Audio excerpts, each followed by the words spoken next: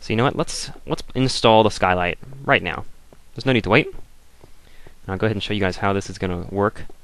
It's interesting. It's an interesting concept, actually. We're going to go all the way back up to the top of the uh, the staircase and find where the sun shines in. So okay, here. So I'm going to want to put a skylight in. Let's see. We, I want to do it on this corner because this corner is part of the exit, and I don't want this to be made of glass. But this part, we could very well say goodbye to. And you see, I'm going to dig through both layers of this, and then I'm going to drop down to here. There we go. Now let's get our glass out so I can use it. Slot six. I'm going to put the glass right here. So now you can see we can see down to the next level. And if I dig straight up from here, I'm going to install skylight up there. Whoops, don't throw your shovel down. Pick that up. No going on strike for you. Alright, so I'm going to break the rules and dig straight up because I know there's nothing up there besides dirt. Because I've already been up there and looked. So, there we go. I believe I can do this without ever having to climb out of my little hole. So yeah, bada bing, bada boom. We'll install a nice little skylight. And we're going to dig through every layer of this staircase all the way back down to our home and it will provide natural light to us when we dig way down into the ground. It actually go all the way down through there. You'd be quite surprised. I think I'm going to cut down these trees though, because they're they're in our way in terms of uh, getting light into this place. And so I'm just to get my underused axe out. And I guess it's probably good to go ahead and collect some wood too, so we'll need to make we'll be needing to make quite a number of tools to dig the mine shaft that I have in store, which I believe should be our next task. Should be digging a mine shaft and if not finding the best minerals, at the very least finding some iron ore. Because iron ore is uh, going to be used to make steel. We can smelt it in our furnace. And uh, once we've done that, we can make steel armor, we can make steel tools, steel weapons. I mean, our general capabilities increase, and we'll need steel tools in order to harvest or collect, whatever you want to say, the best uh, minerals that are going to be way down underground. I'm not going to go searching for the hardest and the best minerals and the most expensive minerals just yet, because quite frankly our odds of finding them at this point are kind of low with only stone tools. So I'm just going to make my goal right now to be to find some iron down there. You may notice some of these leaves are disappearing on their own. As the leaves have like an algorithm where if they're like touching a certain number of other leaves or if they're touching wood or something like that, then they don't die. But if they're floating in air like this, they'll disappear on their own if you just give it time. So I'm going to leave that. And let's go ahead and finish installing our, our uh, skylight. I'm going to go ahead and do this just off camera because it's going to get kind of repetitive. I'm gonna, just going to bust through all four of these where the light is. I'll dig through the second, uh, the next floor as well, which is going to be two blocks here. And then I'll put the glass in, and we'll just continue from there. And I'll see you guys when we get to the bottom.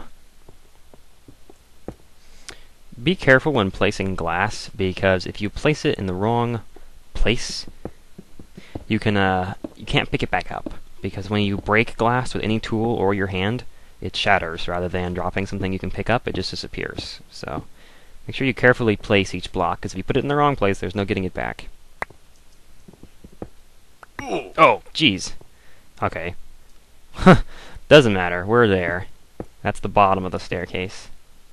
Look at that. You can see through each layer, and it actually brings down quite a bit of natural light down into our staircase, and we may actually not require torches anymore on these, uh, well, let's see.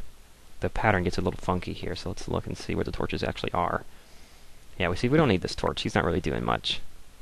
We can, actually, I think I might just go through and remove all the torches, and just only, and replace the torches in the corner opposite the skylight. That's going to be the most efficient way to do this, and we can get some of our torches back. Oh, something I didn't uh, think about is that we need to have a door up here, or at least something to like stop enemies from just walking right in.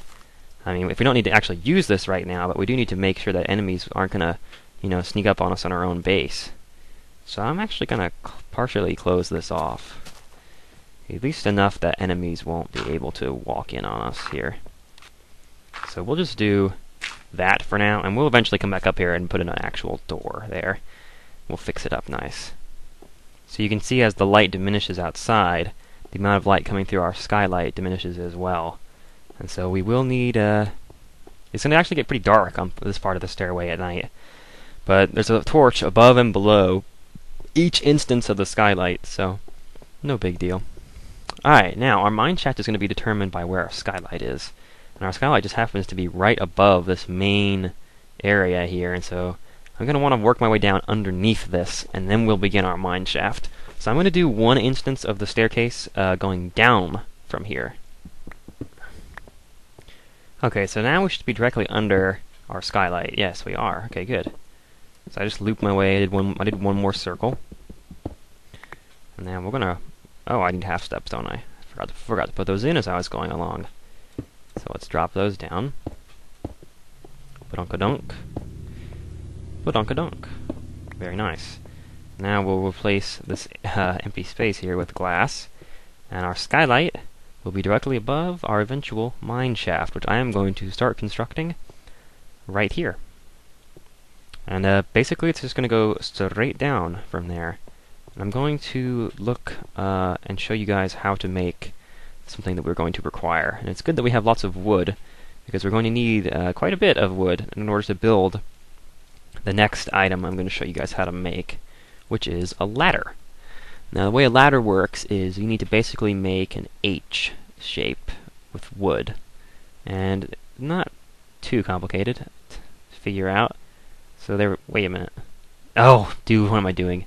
It's with uh, sticks, not with planks. So let's just stack these up and make some sticks. Lots of sticks! Which is good because each uh, block of wood that you pick up, like from a tree, uh, like an actual block, gives you enough wood to make a ladder. One ladder for each block you pick up.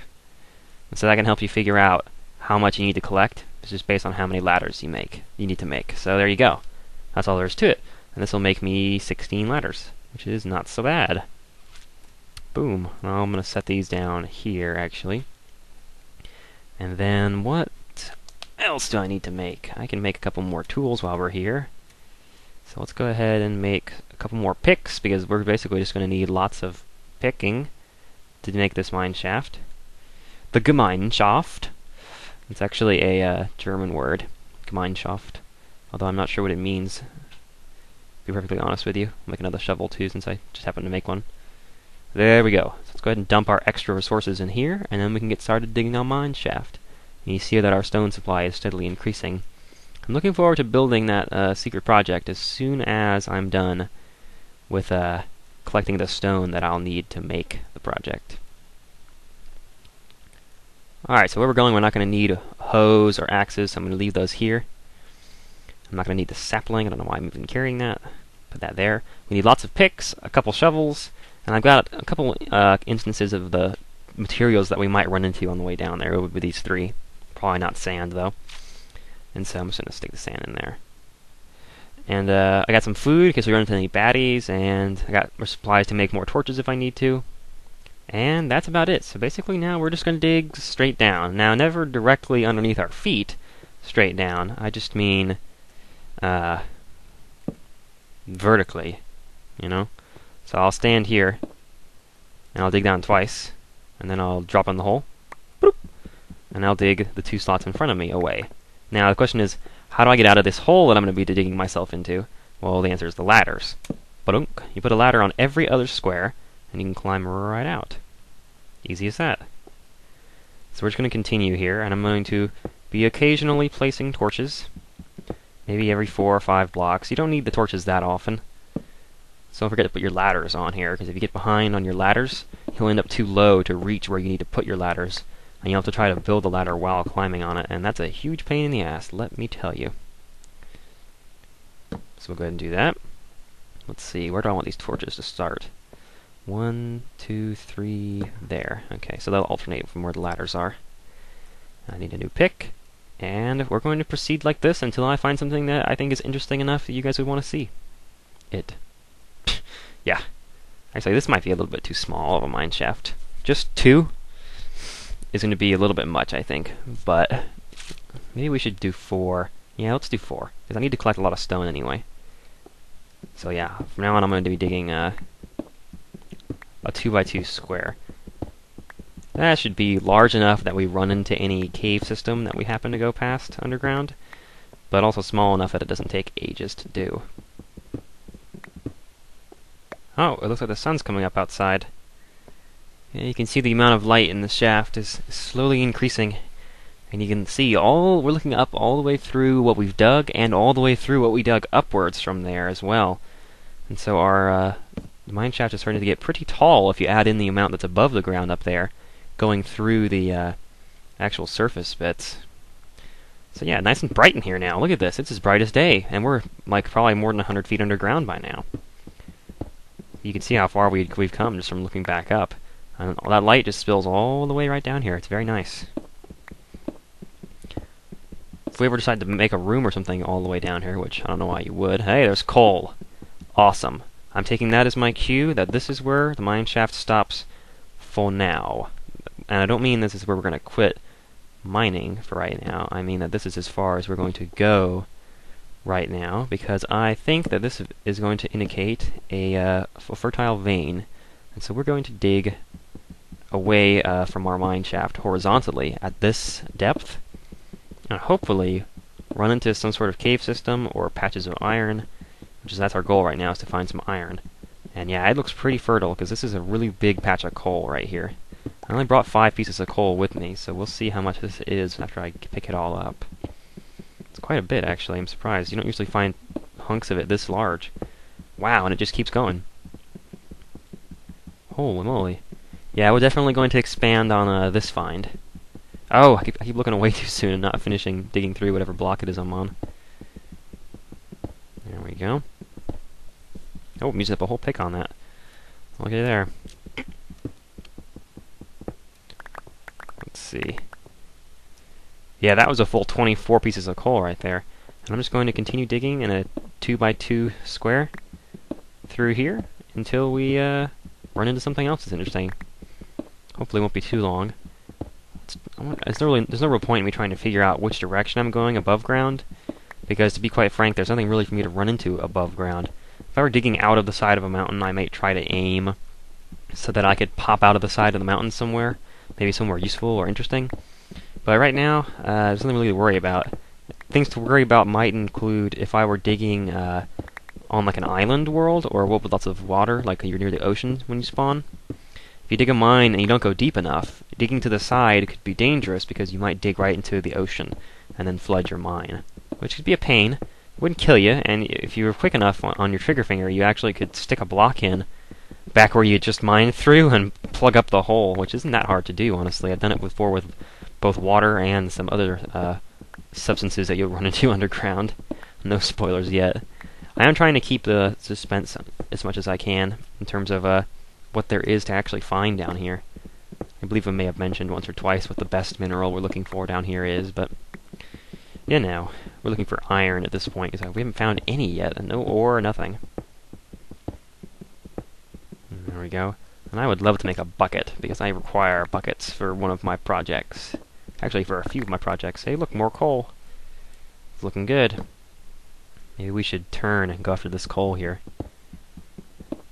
I'm definitely going to dig through and find it all. Ah! I'm out of picks, and still no iron yet. We've dug all this distance to the side here, and we've dug quite a distance downwards. We found two good veins of coal on this little uh, offshoot, but no iron yet. And I do think that we're deep enough to find iron. You can find iron surprisingly close to the surface. And, uh, alright, so let's go ahead and climb back up here. It's still daytime outside, although the sun may, may be on its way down at this point. So we got a mine shaft underneath our house now. Look at that. Way down there. Alright, so let's drop all this crap that we picked up in this chest here. Alright, I think it's time for us to make another chest, as we're running out of storage space here. I'm going to make another chest, another pair of chests, actually. Okay, so with the organizational system that I've come up with, we now have a chest that has all our junk blocks in it, and a chest that has basically everything else, uh, including our extra weapons and stuff. So, uh, let's see, what do I need to do now? I need to make some more uh, tools. So let's go ahead and do that. Alright, I've now made a couple picks and some more shovels and such. And we're going to continue mining and digging through this shaft. And I'm going to cut back to, uh, if I ever find anything interesting down there, I'll cut back to it as soon as I uh, pop up down there. So I'll see you guys in a bit. Well, wouldn't you know it that as soon as I turn off the recording, I uh, run right into some iron ore. How about that? It's just like when you go into a restaurant and you're taking forever for your food to get to the table. You get up and go to the bathroom, by the time you come back, your food will be on the table. It's just how it happens, man. So, two pieces of iron? Really? Is that it? I can't make anything with two pieces of iron. No, there's no way. That's all of it. That's, that's here. That's preposterous. Yeah, look at this dirt. Dirt hides things. We're going to dig away this dirt and discover what lays beneath. What lies beneath, I should say. Let's see. Drop it in. Drop in trow!